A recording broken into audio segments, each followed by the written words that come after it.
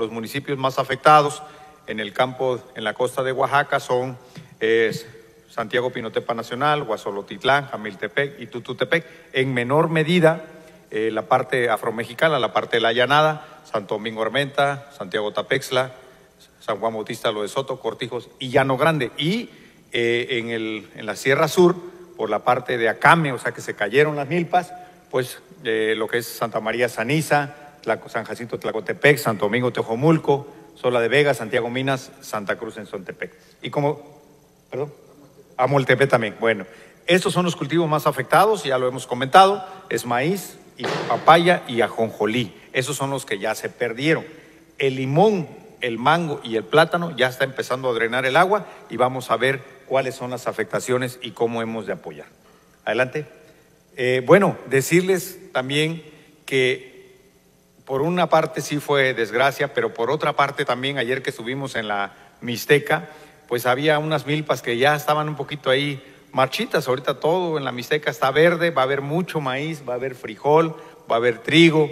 Eh, la Mixteca se benefició mucho con este huracán, la valles centrales, no se diga, y, este, y el istmo de Tehuantepec. En el caso del istmo, por ejemplo, un dato muy relevante es que en la presa Benito Juárez tenía un nivel de 53% hasta antes del huracán hoy casi llega al 80%. ¿Y eso qué significa? Que va a haber suficiente agua para el distrito de riego, va a haber paz, va a haber producción para Tehuantepec, Juchitán y todos los municipios que están en esta parte. ¿Qué fue lo que ya hicimos?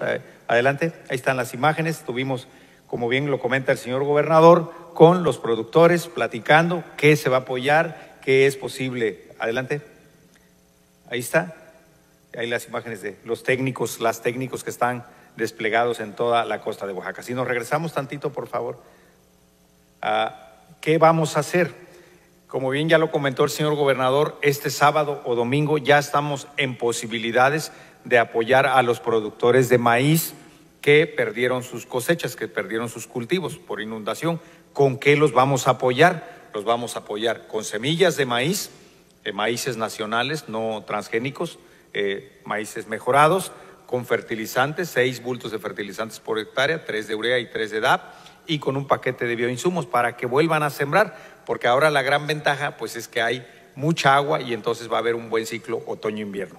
En el caso de la papaya, lo que vamos a hacer es activar un fondo de garantías líquidas para que puedan convenir nuevamente créditos, porque pues la papaya es un cultivo que tiene un costo superior a los 250 mil pesos por hectárea para que puedan convenir un crédito. Y ya el señor gobernador eh, se está valorando eh, un apoyo, un subsidio por hectárea, cuando menos que sea la semilla y un paquetito de, bioinsumos, de, insumos para iniciar, para poner a germinar la, la semilla de papaya, porque los mismos productores las germinan. Y con esto garantizar, pues que haya, que haya producción de alimentos, que haya maíz, que haya papaya, que haya pues los cultivos, porque estos, la papaya, por ejemplo, genera muchos empleos, genera ingresos y eso pueda reactivar la economía en la costa de Oaxaca. Eh, un dato también, señor gobernador, no viene en la presentación.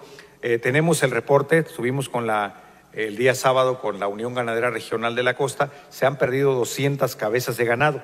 ¿Qué vamos a hacer en ese caso? Todo el ganado que está aretado, que está identificado con el sistema SINIGA, se cubre hay un costo, hay una indemnización hasta por 11 mil pesos por cabeza para el ganado que está identificado. Los que no están, pues estamos haciendo la reflexión, porque el aretado realmente vale 45 pesos y nosotros como gobierno del Estado estamos aportando la mitad, entonces le estamos diciendo que sirve ahora. ¿Qué viene ahora?